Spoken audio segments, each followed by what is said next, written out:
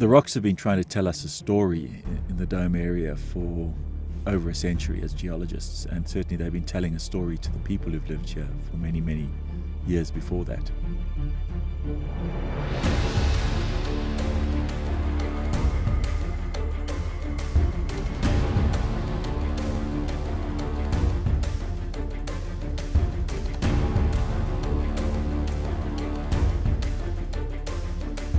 Think in a word, the physical effects of an impact like that today would be catastrophe, annihilation. The only thing we can say with certainty is that it is going to happen again. It's just a question of when.